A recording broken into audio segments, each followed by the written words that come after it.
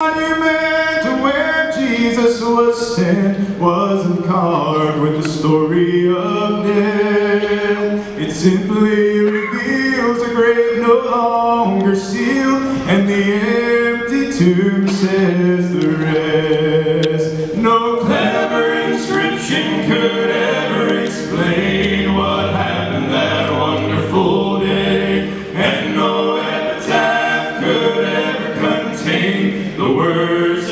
message should say.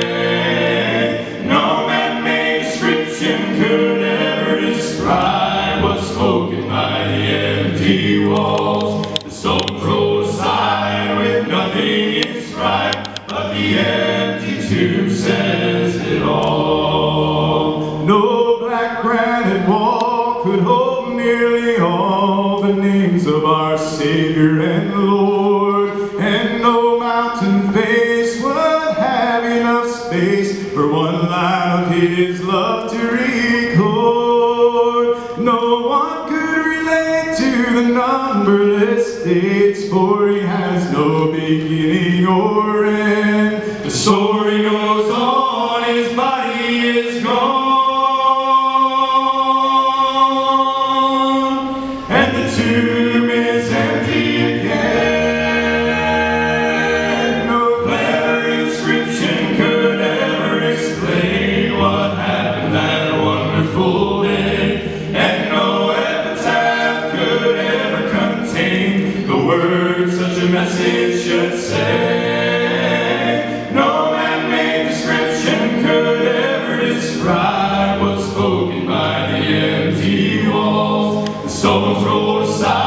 with nothing inscribed, but the empty tomb says.